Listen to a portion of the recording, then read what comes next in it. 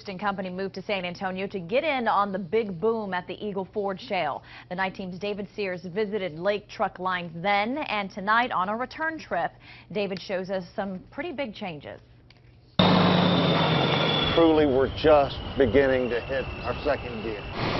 The future is incredibly bright. Since Douglas Cain moved his trucking company to San Antonio from Houston some 15 months ago, business is booming. We've grown by 300% in this just this first year. That's sales and equipment and personnel. We provide transportation of drilling fluids um, and also cementing uh, products uh, to the drilling rigs. Cain has added some 60 trucks to make those deliveries. He's even expanding with a new business, Lake Oilfield Services. We build uh, bulk silos, frac tanks. He's gone from just a couple of employees to over 70. We have been blessed to have just the best people in the world come and work for us. That includes Terry Place, who is the director of safety. Mr. Cain uh, was gracious enough to, to give me the challenge of create me a safety department.